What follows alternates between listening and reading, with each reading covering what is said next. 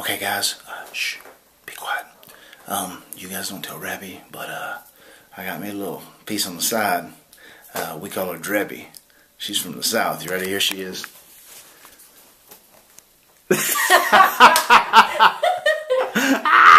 Drebby. Drebby. Drebby, huh? I like your hairdo. It's NWO Reby for real. this sweet mullet is. It's redneck Reby here. It's what happens. You come to Cameron. I mean, it's shh, don't tell Drebby. Don't tell Reby a word. All right. Snitches get stitches, even in the south.